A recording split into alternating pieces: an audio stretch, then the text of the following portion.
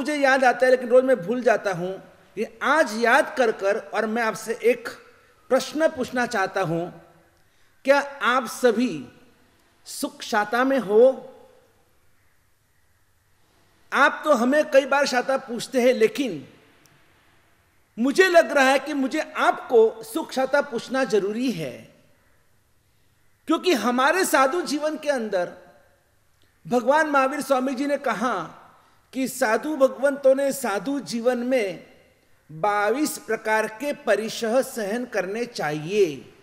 भूख का दुख, क्षुदा का दुख, ठंडी गर्मी वगैरह वगैरह बाईस प्रकार के परिशह होते हैं और वो हमें सहन करने होते हैं।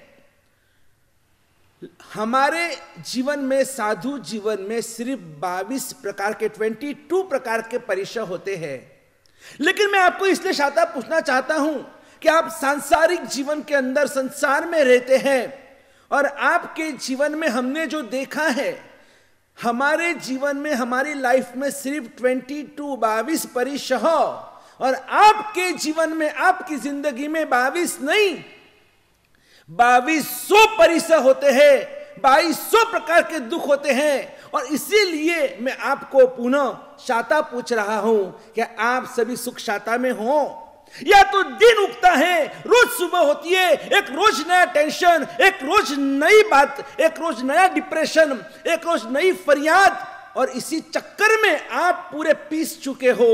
कभी शारीरिक तकलीफ़, कभी मानसिक, कभी पारिवारिक, कभी कौटुंबिक तो कभी सरकार की तरफ़ से ये कोई ना कोई कोई ना कोई विटमनाओं के बीच में आप पूरे पीस चुके हो। न आपको शरीर का सुख है, न मन का सुख है, न आपको परिवार का सुख प्राप्त हो रहा है। न आप, आपको ना तो पैसे का सुख है, न आपको कोई भौतिक सुख प्राप्त हुआ है। वो जो भी कुछ आप समझ रहे हो, वो एक्चुअली वो सुख नहीं है। वो सिर्फ़ और सिर्फ़ सुख का भ्रम है। और इसीलिए जिस सुख के भ्रम को आपने सुख मान लिया है, और इसीलिए आप उस सुख के पीछे या सुख पाने के बाद भी आज भी आप वही के वही, जैसे वो समुंदर का पानी होता है ना, समुंदर का वो पानी आप जितना भी पिएँगे जैसे अब प्यास बुझाने के लिए समुंदर का पानी पीते हैं, लेकिन जैसे जैसे समुंदर का पानी पीते जाते हैं, वैसे वैसे आपकी प्यास बढ़ते जाती है, बढ़ते जाती है। वजह एक ही, क्योंकि वो खारा समुंदर है। वो खारा है तो आपकी प्यास कभी बुझ ही नहीं सकती है। संसार के जितने भी भौतिक सुख है ना, ये सब भी खारा खारा, ये समुंदर की तरह, ये पूरा जहर है। आप जितना उसके पीछे किम्पाक का जो फल होता होता है ना किम्पाक का फल खाने में मधुर लगता है, खाने में वो बहुत स्वादिष्ट लगता है, खाने में बड़ा वो लिज्जत, उस फल के अंदर बड़ी लिज्जत होती है, लेकिन वही फल खाने के बाद इंसान के शरीर के अंदर धीरे धीरे जहर व्याप्त हो जाता है और एक समय ऐसा आता है कि वो तड़प तड़प के मरता है। पहले शुरुआत में, प्रारंभ में और वो फल बहुत मीठा लगता है, लेकिन वही फल उस फल का जब फल जब मिलता है, उसका असली फल है कि हम अंदर से हमारे पूरे शरीर के अंदर विष व्याप्त हो जाता है और आखिर में हमको तड़प तड़प के मरना पड़ता है। संसार के जो विषय सुख जो होते हैं, पाँच इंद्रियों के जो विषय सुख कहा जाते हैं, ये सभी विषय सुख भी किम पाक के फल की तरह जहरीले होते हैं। शुरुआत में हमें आनंद देते हैं, लेकिन वही फिर वापस वही विषय कषाय के जो सुख होते हैं ना, वही फिर हमें खाते चाहते हैं और कल के प्रवचन में हमने यही सुना था। इंसान सबसे ज़्यादा किसको चाहता है? सबसे ज़्यादा वो समझता है कि नहीं, पैसे में सुख है और इसीलिए पैसे के लिए उसने खाना छोड़ दिया। उसने सोचा, नहीं नहीं, पुत्र में सुख है और पुत्र के लिए उसने पैसा छोड़ दिया। अरे नहीं, पत्नी में सुख है और पत्नी के लिए उसने पुत्र को छोड़ दिया।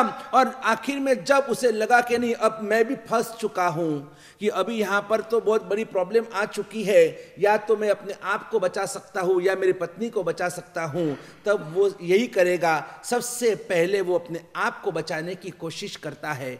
मेरी आपकी सबकी थियरी यही तो है। हम सिर्फ़ अपना देखते हैं। हम सिर्फ़ और सिर्फ़ हम अपनी ज़िंदगी को हमने प्यारी बना के रखी है। नहीं, अगर प्रसंग आया तो मैं सब कुछ छोड़ दूँगा, लेकिन मैं अपनी आप मेरी खुद की ज़िंदगी में, मेरी खुद की जान बचाने के लिए मैं कुछ भी करूँगा। यही तो हुआ है इस कोरोना ने। इस कोरोना ने जो समझो कैंसर और कोरोना, इन दोनों के बीच में सबसे बड़ा फ़र्क क्या है? तो कैंसर, अगर कोई पेशेंट को कैंसर है, आपको पता चले कि आपके रिश्तेदार में किसी को कैंसर हो चुका है ना तो भी आप जाएँगे, आप फ़ोन करेंगे, आप उसको मिलने के लिए जाएँगे, आप उसे शाता पूछेंगे, आप उसकी सेवा चाकरी करेंगे, आपको उसके लिए हमदर्दी निर्माण होगी। लेकिन वही अगर आपको पता चले कि आपके परिवार में, आपके बिल्डिंग में, आपके सोसाइटी में किसी को कोरोना हुआ है, वो कोरोना पॉजिटिव आया हुआ है, आप उससे दूर भागते हैं, आप उसे प्रतिबंधित कर देते हैं, ए भाई आप आपको हमारे सोसाइटी में नहीं आना, आपको हमारी बिल्डिंग में नहीं आना, आपको मेरे घर में नहीं आना, आपको मेरे रूम में भी नहीं आना। अगर एक ही घर में क्वारंटाइन भी रखा है ना तो भी हम उसके रूम में भी नहीं जाते, उसको हमारे यहाँ, हमारे रूम में आने भी नहीं देते हैं। हम ऐसा बर्ताव कर रहे कि जैसे वो अस्पृश्य हो चुका है, जैसे कि वो उसको हमने रिजेक्ट कर दिया है। अभी अभी तो हम ज़िंदा है, उस सज्जाए में तो लिखा है कि ऊँचा ते मंदिर माड़िया काड़ो रे काड़ो एने सहु कहे जाने जन्म्यो जन हो तो एकरे दिवस से वो आवश्यक इंसान मरने के बाद अपने खुद के ही घर खुद के ही घर में, भले वो उसने खुद का घर है, खुद के नाम का घर है, फिर भी देखो, इंसान मरने के बाद जो है ना, उसे सब ऐसे उसको बांधते हैं और उसको उस घर में से निकाल देते हैं, हकाल देते हैं। 24 घंटे भी उस मृतक को, उस शव को कोई घर में रखने को तैयार नहीं है। जिस परिवार को अपने, आपने अपना माना था, जिस परिवार को आपने परिवार के लिए आपने दिन रात एक किया था, जिस परिवार के लिए आपने क्या क्या नहीं छोड़ा खून पसीना एक कर दिया लेकिन वही परिवार वाले जब आपके मरने के बाद आपकी आँखें जब बंद हो जाती है तब आपको सबको 24 घंटे भी किसी को घर में रखने को तैयार नहीं होते हैं और आपको उस घर में से बाहर निकाल देते हैं। और इतना ही नहीं उन, उनको कितना डर होता है देखिए कि इंसान मरने के बाद है ना उसको बाँध दिया जाता है। जब हम छोटे थे और हमने ये सवाल हमारे पिताजी को पूछा था कि पिताजी ये इनको ये बांधते क्यों? अब तो मर चुके हैं। मरने के बाद तो वो तो ना तो हिल सकते हैं, ना बोल सकते हैं, ना चल सकते हैं, ना उठ सकते हैं, ना बैठ सकते हैं, ना आँखें खोल सकते हैं, ना सुन सकते हैं। कुछ भी तो नहीं कर सकते। हम तो कहते कि वो मर गया। मर गया तो कुछ नहीं, वो तो निश्चित निश्चल रूप से, वो ऐसे उसके, उसका शब पड़ा हुआ है। तो ऐसी स्थिति के अंदर भी फिर हम उसको बांधते क्यों है? तो पिताजी ने कहा कि देखो लोगों को डर होता है, कहीं ये मुर्दा वापस खड़ा ना हो जाए, बोलने न लगे।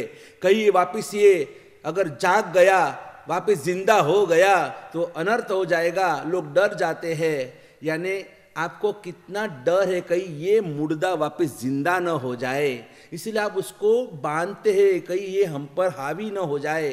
और कभी अगर ऐसा हो गया कि अगर उसके नाभि में प्राण रह गया है, और अगर सच में अगर वो हिलने लगा और अगर वो बैठा, बैठ गया, उस समय आप क्या सोचेंगे? भूत भूत भूत। अरे, वो आपका जो परिवार जन है, स्वजन है, अगर वो वापिस हो सकता है, अगर प्राण जो होते हैं ना, नाभि के अंदर अगर रह गया है तो वापिस उसमें वो जान आ सकती है। लेकिन फिर भी हम लोग कितना डरते हैं, कितना खौफ होता है। हम सोचते कि अब नहीं, अब ये मेरे काम का नहीं है। जब इंसान को लगता कि अब मेरे काम का नहीं है ना, हम देखना कि अगर हमारी पेंसिल, अगर पेंसिल अगर पूरी हो चुकी है, उसमें है नहीं, वो नीपी नहीं है, या उसका वो पूरा अभी घिस चुका है, हम पेंसिल को फेंक देते हैं। पेन जो होती है, बॉल पेन बॉल पेन की इंक अगर सूख गई है, वो अगर काम की तो बॉल पेन फेंक देते हैं। जो चीज़ हमें पसंद नहीं है, अगर लगता है कपड़ा अभी उसका पूरा यूज़ हो चुका है, उसको भी हम मसौता बना देते हैं।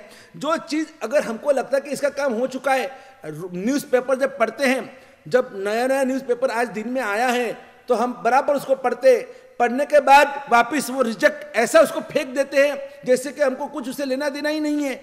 बच्चे भी देखो स्कूल स्कूल जाते समय बैग को बराबर, किताब बराबर उसको संवारते हैं, बराबर उसको लगाते हैं, लेकिन जैसे स्कूल छूटने के बाद घर में आते हैं बैग को फेंक देते हैं, ये हमें सभी को फेंकने की आदत। कोई भी छोटी, बड़ी, कोई भी चीज़ हमारे हाथ में होती है, जब उसका काम पूरा हो जाता है, हम उसे फेंकने में हम बड़े होशियार हो चुके हैं। हम बहुत एक्सपर्ट हो चुके हैं कि हमारा काम का नहीं है, उसको फेंक दो रिजेक्ट कर दो। यही तो हमारी हालत हो गई है।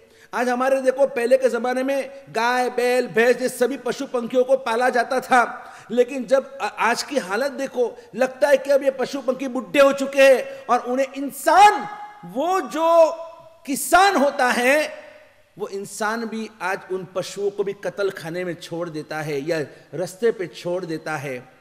आप देखना, कई आप पूरे घर गाँव गाँव में देखो तो कितना ये एक परेशानी हो चुकी है कि जहाँ देखो गौवंश रस्ते पे आ चुका है। हाँ आपको कभी कोई भैंस देखने को नहीं मिलेगी रस्ते में, आपको कभी कोई घोड़ा रास्ते में देखने को नहीं मिलेगा, लेकिन आपको गाय, बछड़ा, ये सब प्राणी आपको देखने को मिलेंगे। क्यों पता है आपको? क्योंकि चलो ठीक है कि इंसान इतना तो सोचता है कि वो गौ माता है बाकी सब प्राणी इसलिए देखने को नहीं मिलते हैं, क्योंकि जैसे उसमें से रस कस निकल गया, अब वो दूध नहीं देता है, वो भैंस दूध नहीं देती है, कुछ किसी काम के नहीं है। वो सभी जानवरों का तो आखिर उन सभी को कतल खाने में बेचा जाता है। घोड़े भी, घोड़े, घोड़ों का भी कत्ल खाना चल रहा है, ऊँट के भी कतल खाने चलते हैं, और गाय, भैंस, बकरी, ये सब के कत्ल खाने चल रहे हैं। लेकिन फिर भी जो इंसान को थोड़ी भी बुद्धि है वो सोचता कि नहीं, भाई, ये गौ माता जो हिंदू होते हैं, वो समझते, भाई गौ माता है, इसमें तैतीस करोड़ देवी देवता का निवास है तो उसको हम कत्ल खाने नहीं देंगे। इसलिए ऐसे पशुओं को वो रस्ते के ऊपर छोड़ देते हैं और फिर वो भटकते भटकते कचरा खा के गंदा पानी पी के प्लास्टिक खा खा के और आखिर तड़प तड़प के और वो सब हमारी गौ माता, जिसको हम माँ का दर्जा देते हैं, जिसकी हम आरती उतारते हैं और जिसको हम तैतीस करोड़ देवी देवताओं का निवास स्थल मानते हैं, और ये सभी कमोत से मर रहे हैं। पिछले सात साल से हम लोग पालितना का पूरा, पालितना जीवदया हेल्पलाइन चला रहे हैं। रोज कितने केसेस आते हैं, रोज नए नए प्रकरण आते हैं। किसी ने गाय की पूछ काट दी, क्योंकि वो खेत के अंदर वो अनाज खाने को आई थी। किसी ने गाय की आँखें फोड़ दी तो किसी ने गाय के कान काट दिए। किसी ने गाय के ऊपर एसिड फेंक दिया।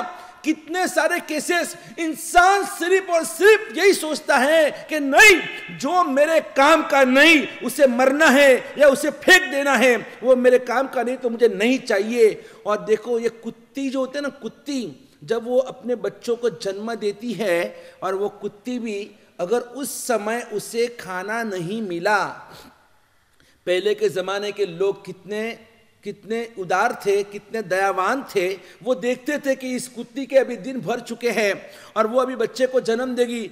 तो उस कुत्ती के लिए गरम गरम सीरा बनाते थे, सीरा। गरम गरम उसके लिए भोजन बनाते थे। नहीं तो अगर हम उसको खाना नहीं देंगे तो कुत्ती का स्वभाव होता है कि अगर उसे खाना डिलीवरी होने के बाद अगर उसे खाना नहीं मिला तो आखिर में वो भूख सहन नहीं कर सकती है और वही कुत्ती अपने बच्चों को खा जाती है। इसीलिए तो वो कुत्ती है कि वो अपने बच्चों को ही खा जाती है। और जो नागन होती है ना, नागन, वो भी जब अंडे देती है और एक गोल राउंड करती है अपने पूछ से, और अगर उस जब वो अंडे में से बच्चे निकलते हैं और जो बच्चा उस राउंड को, उस लक्ष्मण रेखा को पार कर दे और जो बाहर निकल जाते हैं तो उनको वो नागन, वो सापन जो होती है ना, उसको छोड़ देती है और जितने अंदर रह गए उन अपने ही बच्चों को वापस वो खा जाती है। वो नागन वापस खा जाती है। जिस बच्चों के लिए हम इतना प्यार और हम कितना कितना वात्सल्य भाव हम जताते हैं, आखिर वही बच्चे जब लगता है कि हमारे सुख में पत्थर है तो उसका कांटा निकालने भी हम तैयार हो जाते हैं। मुंबई की बनी सत्य घटना, रमेश और रमा और ये दोनों पति पत्नी उसमें रमेश जो था वो धर्म प्रिय था और जैसे संसार उनका आगे चलता गया, उन्हें एक छोटा सा बच्चा हुआ, उस बेटा होने के बाद और एक दिन उस रमा ने अपने पति से कहा कि, स्वामीनाथ, आज हमारी एनिवर्सरी है तो चलो, आज हम पिक्चर देखने को जाते हैं। तब उस रमेश ने कहा कि, नहीं, छोटे बच्चे को लेकर मैं पिक्चर देखने नहीं आऊँगा, बच्चा छोटा है और मुझे अभी से उसको कुछ संस्कारी नहीं बनाना है। उस समय वो जो पत्नी थी रमा, उसने कहा, अरे, बच्चा छोटा उसमें क्या फ़र्क पड़ता है? उसे क्या समझ में आता है? नहीं, मैंने कहा ना, बच्चे छोटे हैं, फिर भी आज उनमें भी एक समझदारी होती है। अभिमन्यु की, मैं आपको बात बताता हूँ। अभिमन्यु जब माता के गर्भ में था ना, तब उसने चक्रव्यूह किस तरह से भेदना, वो ज्ञान उसको माता के गर्भ में थे, तब उनको प्राप्त हुआ था। बच्चे छोटे होते, इसका मतलब ये नहीं, उन्हें समझ में नहीं आता है। सब उनमें समझ में आता है। और इसीलिए उस रमेश ने मना कर दिया। तो रमेश तक तक हो गई, घर में किटकिट हो गई, और इसलिए घर छोड़कर चला गया। चलो, मैं एक राउंड लगा के आता हूँ, तब तक मेरी पत्नी शांत हो जाएगी। ये समझकर और उस रमा ने उस बेटे को देखा। एक छोटा सा नन्ना मुन्ना बच्चा है और ताज़ा जन्मा हुआ बच्चा और उस बच्चे को देखकर वो सोचती है, अभी से ये मेरे सुख में पत्थर डाल रहा है तो ऐसा बच्चा मुझे किस काम का? अभी तो जन्मा है, छोटा है और मुझे वो सुख से वंचित रख रहा है तो ऐसा बच्चा मुझे नहीं चाहिए। और जो माँ जिसको भगवान की उपमा दी गई है, और वो माँ, वो रमा, और उस बच्चे को लेकर रसोड़े में जाती है, और रसोड़े में जाकर उसको हाथ में रखती है, उसकी आँखों में से अंगारे बरस रहे कि आज इस बच्चे की वजह से आज मेरे पति ने मुझे मना किया और वो मेरा पति मुझ पर गुस्सा हुआ। नहीं चाहिए मुझे ये बच्चा। और आवेश में आकर देखो, उसने गैस चालू कर दिया और अपने छोटे से नन्हे मुन्ने फूल जैसे कोमल जैसे बच्चे को उसने गैस के ऊपर रख दिया और वो बच्चा फड़ फड़ फड़ फड़ फड़ फड़ फड़, वो जल रहा है, वो चिल्ला रहा है कि, माँ, मुझे बचाओ, माँ, मुझे बचाओ। वो बोल तो नहीं सकता है, लेकिन उसकी, उसके अंदर का जो आक्रंद था, उसके अंदर की जो एक माँ के प्रति जो पुकार थी, वो सुनने को तैयार नहीं है वो माँ। और वो माँ माँ मिटकर वो डाकन बन गई, वो राक्षसी बन गई, वो पिशाची बन गई कि जिसने अपने फूल जैसे कोमल बच्चे को सिर्फ़ अपने स्वार्थ के लिए मार दिया। ये संसार है आपका, ये संसार है। क्या हम सुख और दुख की क्या व्याख्या कर रहे हैं? समझ में नहीं आता है। चलो, हमको अपने आप को शांत करना है और हमें सुखी बनने के लिए नहीं, वापस दोहरा तो सुखी बनाने के लिए हमको पूरी दुनिया को सुखी बनाना है और इसलिए हम सभी को साथ में मिलकर प्रयास करना होगा, एक नए सुखमय, शांतिमय विश्व का नव निर्माण करना होगा और इसलिए आगे के प्रवचन हम सुनेंगे। तब तक के लिए जय गिरिराज, जय आदिनाथ, जय गुरुदेव। बोलो, वर्तमान गच्छाधिपताचार्य गुण दौलत सागर सुरेश्वर जी महाराज की जय हो।